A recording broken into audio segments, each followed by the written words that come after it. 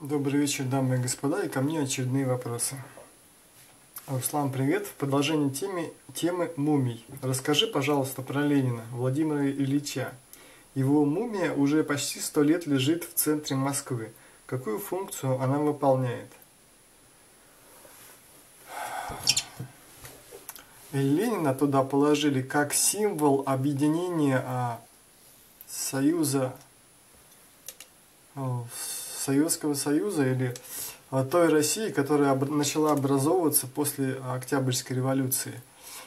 А, там а, очень много людей в то время его обоготворили, вдохновлялись одним словом Ленин.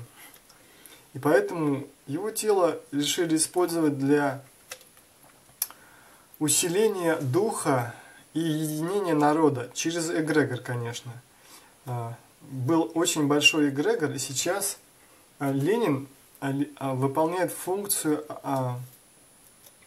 такого... Кстати, часть его души сохранилась в этом эгрегоре, и вообще, ну, там пребывает над внутри над мавзолеем и является проводником энергии к, к этому эгрегору от людей – а, и вообще работает в этом эгрегоре буквально. А большая часть души а, все-таки пребывает не там, и, кстати, душа уже давно перевоплощается Лениным. Но какая-то частичка все-таки осталась там и как бы возглавляет некоторые эгрегориальные структуры старой России или старого Советского Союза. Пока еще есть коммунисты, пока еще есть любители Ленина – а эгрегор будет жить. И часть души астральная, кстати, и ментальная, там, а, будут работать по помощи тем самым людям, которые думают о Ленине. Или... Но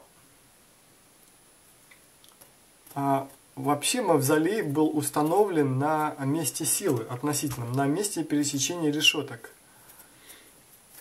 А, чтобы использовать эти энергии, там а, с места схождения линий решеток а, вообще на, на, вокруг, в Кремле, вокруг Кремля все расположено с использованием э, решеток.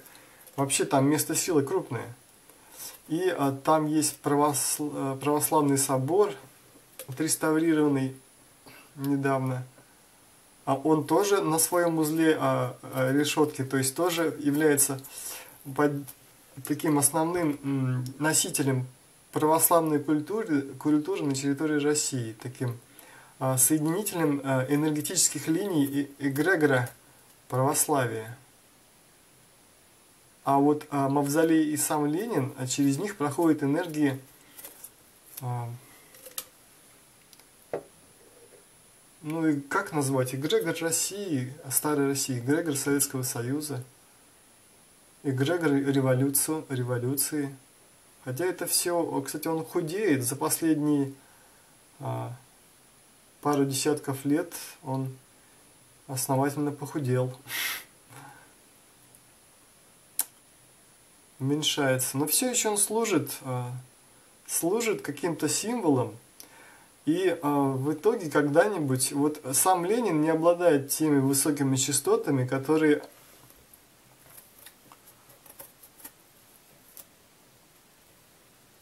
которые э, нужны или используются, а которыми обладают некоторые другие мумии, а,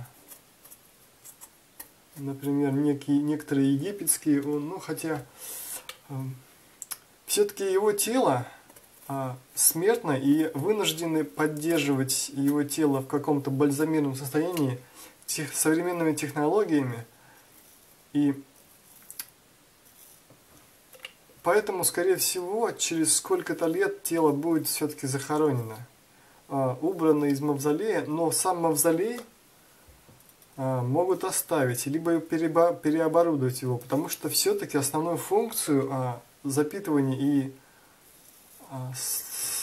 эгрегориальную функцию несет сам мавзолей. Он, кстати, выстроен в форме такого такой ступенчатой пирамиды. Кстати, из него можно сделать другое место силы. Что бы я сделал? А, а, что, возможно, и сделает, ну, если бы я был а, в, в правительстве или от меня что-нибудь зависело, я предложил тем коммунистам или тем любителям Владимира Ильича Ленина, Ульянова, ну, которые объединяются в коммунистическую партию, партию и некоторые другие кружки или объединения есть. А я бы предложил, если вам нужен Ленин в мавзолее, вы можете сами а, поддерживать его жизнь, а, а, поддерживать, ну, его полу такое относительно сохранное состояние за свой счет, то есть скидываясь или а, а, какую-то часть денег партии туда оплачивая как за самого Ленина, так и за недвижимость, потому что в центр Москвы самая дорогая недвижимость, и там а, очень большие деньги. Мавзолей там держать и Ленина вообще там держать. Поэтому я бы предложил, если им нужно, то, пожалуйста, можете на партийные деньги содержать мавзолей и оплачивать все. Если они бы не организовались, не собрались, то, конечно, Ленина бы вы, вы, вывезли оттуда. И а, к тому времени, когда это будет решение приниматься, то а, количество членов коммунистической партии к тому времени по, повымирает, их будет намного меньше. И смогут они содержать а, Ленина там или не смогут, будет зависеть от их количества и от их а, денежных их финансовых возможностей. Я думаю, постепенно любители коммунизма или любители старого коммунизма, вот того самого ленинского, потихонечку будут уходить из жизни, потому что они а, с десятилетиями, конечно, потому что они стареют, болеют и умирают. И поэтому в итоге Ленина вывезут и, и, скорее всего, захоронят а, в землю – вряд ли он кому-нибудь будет нужен через а, несколько десятков, а тем более сотен лет. С Кремлем что будет делать? Пока он служит, все-таки Кремль пока еще запитан на решетке планеты. Он является одним из мест силы. И, скорее всего, его оставит.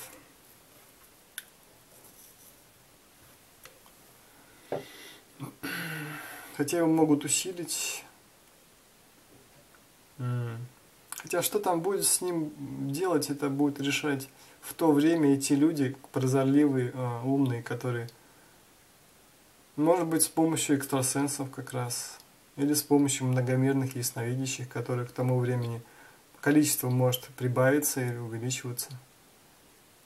Может, даже меня спросят, а, в зависимости от вопроса. Ну, а Будущее поколение будет решать, что с этим делать, а пока Мавзолей, Кремль и православный храм служат своим не только эгрегориальным функциям, но и энергетическим, и кристаллическим, в общем, решеткам. Они стоят на местах силы и служат, э, как это объяснить, не просто, я вот вижу, как энергии идут, текут. Еще, похоже, русских слов таких и вообще а, земных слов не подобрано – а, не придумано, не создано, как это все назвать и на что это все работает. На поддержание кристаллических решеток, на поддержание жизни, а, на поддержание жизни разных слоев а, и видов людей, животных, растений, хотя на духовные устремления. Ну, как смог объяснил что-то примерно, частично – на этом завершаю видео. До следующих встреч.